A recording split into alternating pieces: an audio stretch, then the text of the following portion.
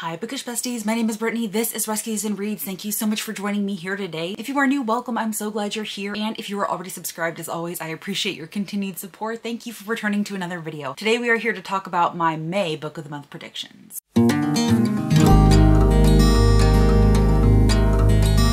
Alright everybody, welcome back to another Book of the Month prediction video where I tried to determine what Book of the Month might feature as part of their curated monthly selections or their potential add-on selections. But of course, before we can get into May's, we have to recap how I did in April. Now I did want to quickly mention that I think I'm going to do something a little bit different going forward after this video. Instead of trying to do this recap at the beginning of the prediction video, I think I'm going to do a short, quick, separate video talking about all of the selections for the month, my thoughts and feelings, how I did, as well as talk about whether I made any selections or whether I decided to pass on this month. So basically as soon as May 1st rolls around and we know what the selections are, I'm going to be doing a brief follow-up video discussing all of those things rather than trying to cram it in at the beginning of every prediction video. So please comment down below and let me know what your thoughts and feelings are on that. It would be a new video series on my channel. So jumping into how I did in April. This was actually a pretty heavy month for Book of the Month because they actually had seven monthly curated selections this time around. And I did pretty well if I do say so myself because out of those selections, I correctly predicted six of them. Those six were Darling Girls by Sally Hepworth, Just for the Summer by Abby Jimenez, The Husbands by Holly Gramazio, How to End a Love Story by Yulin Kuang, All We Were Promised by Ashton Lattimore, and The Wives by Simone Gorrindo. And the only one that I did not predict was a book called Dragon Fruit by Maria Lucier. I had never heard of that book before. It was completely not on my radar at all. So that was nowhere near a prediction that I had made for April. And then in terms of add-ons, Book of the Month had five new add-on selections. And out of those five, three of them I predicted correctly. First, we had The Familiar by Leigh Bardugo, Daughter of Mine by Megan Miranda, and Table for Two by Amor Towles. Those were the three that I predicted correctly. The other two that were featured were The Reappearance of Rachel Price by Holly Jackson, and then the fifth and final add-on was a book called A Short Walk Through a Wide World by Douglas Westerbeke, and I had never heard of that book before. It was just not one that was on my radar. So out of the 12 new monthly curated selections and add-on selections, I correctly predicted nine of them, which I think is my best prediction month so far. I'm usually not that accurate at all. So I was very, very pleased by how April's selections panned out. And now we're gonna go ahead and just jump right into May's predictions. Now I will say that I do not really have a lot of strong feelings about these predictions, y'all. When I was trying to determine what I thought would be featured, I was having a really hard time because I wasn't really feeling passionate about a lot of these. In fact, I think this is going to be one of the shortest book of the month prediction videos yet, just because I don't have full categories, I think for pretty much any of them. So it's really unusual. But I will say before we jump into the predictions that there is already a confirmed add-on for May. It is already there and available on Book of the Month's website. It is a book called Did I Ever Tell You by Genevieve Kingston it is a confirmed add-on and you can already see it on their website. Now, just as a few reminders, my Book of the Month predictions are divided into five distinct genre categories and I limit myself to five selections for each category. Typically, not all of the categories are full, but there are some months that are heavier than others. All the books that I'm going to be talking about are May releases only. So there's every possibility that there are books that are coming out on April 30th that are going to be featured in May, but I'm not going to be talking about those here. And as always, we are going to start with the mystery thriller horror genre category. And the very first book that I want to talk to you about is a book called When We Were Silent by Fiona McPhillips. And I'm really loving the idea of this book because this is set at a school, I believe, so it's giving a little bit of dark academia vibes. It says Louise Manson is the newest student at Highfield Manor, Dublin's most exclusive private school. Behind its granite walls are high-arched alcoves, an oak-lined library, and the dark secret Lou has come to expose. Lou's working class status makes her the consummate outsider until she is befriended by some of her beautiful and wealthy classmates. But after Lou attempts to bring the school's secret to light, her time at Highfield ends with a lifeless body sprawled at her feet. 30 years later, Lou gets a shocking phone call. A high-profile lawyer is bringing a lawsuit against the school and needs Lou to testify. Lou will have to confront her past and discover once and for all what really happened at Highfield. Powerful and compelling, When We Were Silent is a thrilling story of exploitation, privilege, and retribution. I'm absolutely here for it. I'm loving the vibes. I'm loving kind of like the dark academia feel, and I would be excited to see this one featured on Book of the Month. This next one was also intriguing. It's a little bit more on the literary side, so it's gonna be like a literary thriller. It's called The Winner by Teddy Wayne. I have never heard of this author before. I do not believe it is a debut, but Book of the Month has featured literary thrillers in the past, which is one of the reasons why I selected it for this category. It says Connor O'Toole has never been anywhere as casually glamorous as Cutter's Neck, a gated community near Cape Cod. It's a sweet deal for the summer. Free lodging in a guest cottage in exchange for tennis lessons, luxuriously far from the cramped Yonkers apartment he shares with his diabetic mother. Then a sharp-tongued divorcee appears, offering him double his usual rate. Soon he realizes Catherine is expecting additional off-the-court services for her money, and Connor tumbles into a secret erotic affair unlike anything he's experienced before. Despite his steamy flings with a woman twice his age, he simultaneously finds himself falling for the artsy, outspoken girl he met on the beach. Connor somehow finds a way to manage this tangled web until he makes one final irreversible mistake. A dark, explosive literary thriller that brilliantly skewers the elite. Whiting Award winner Teddy Wayne's unputdownable novel is cinematic, shocking, and a psychological masterpiece. So, like I said, this is definitely a little bit more literary in nature, and it sounds like it's going to have some darker themes. There's going to be like an affair involved, and this definitely sounds like it's going to be rich people behaving badly. So if you enjoy those types of stories, be on the lookout for this one on Book of the Month. Next, we have a dark domestic thriller that is coming out in May that I think could potentially be featured on Book of the Month. It is called The Switch by Lily Samson. It says, when young couple Elena and Adam are offered the chance to house sit in their dream neighborhood for a few months, they jump at the opportunity. The leafy South London enclave is a world away from everything they know, complete with grand homes, lush gardens, and quaint local coffee shops. Soon Elena crosses paths with the beautiful and enigmatic artist Sophia and her husband Finn, and she and Adam are pulled into their orbit. Sophia is everything Elena isn't. Glamorous, alluring, successful, and Finn exerts a mysterious pull on Elena that she can't seem to shake. Elena's infatuation with Finn grows stronger by the day, and when Sophia proposes a thrilling game to her new friend to swap partners in secret, Elena quickly agrees. It's not long before Elena experiences a sexual awakening that blossoms into an illicit love affair, but Sophia's plans are far more dangerous than Elena could ever have imagined. So I'm not necessarily entirely sure how I feel about that. There's definitely going to be cheating involved, or at least, you know, swapping partners, and that's typically not my vibe, but it definitely seems like there's going to be a darker undertone here in that one of the wives has something further planned. So that is definitely twisty. That's definitely a little bit salacious. And like I said, it is certainly going to be on the darker side. So I'm not necessarily sure how strongly I feel about this one being featured, but I've seen it going around. So I wanted to mention it here. The final one that I wanted to mention here is The Return of Ellie Black by Emiko Jean. Now I believe this is her adult thriller debut. I think she's more known for her contemporary romance, maybe even young adult contemporary romance. So I was really intrigued to see this book by her, but it is really popular and based on some clues that I've seen going around like released by Book of the Month, I do think that this is a very, very strong contender. I'm just gonna read this quick blurb. It says, Detective Chelsea Calhoun's life is turned upside down when she gets the call that Ellie Black, a girl who disappeared years earlier, has resurfaced in the woods of Washington state. But Ellie's reappearance leaves Chelsea with more questions than answers. And it does say the debut thriller from New York Times bestselling author Emiko Jean, The Return of Ellie Black is both a feminist tour de force about the embers of hope that burn in the aftermath of tragedy and a twisty page turner that will shock and surprise you right up until the final page. I don't know, that actually sounds really wonderful. I've never read anything by Emiko Jean, but I'm incredibly interested to see where this girl has been, why she's returning, what's going on with this detective. And I always love a good thriller set in Washington State because it is so, so, so atmospheric. A lot of Jennifer Hillier's thrillers are set in Washington State. I absolutely love it. So this is certainly one that I'm very hyped for and I will absolutely grab it if it is featured on Book of the Month in May. All right, moving on into the romance category, there are actually quite a few cute romances coming out and one that I think is a shoe-in to be featured on Book of the Month is going to be the newest release by Christina Lauren called The Paradise Problem. Christina Lauren's last latest release was featured on Book of the Month and I definitely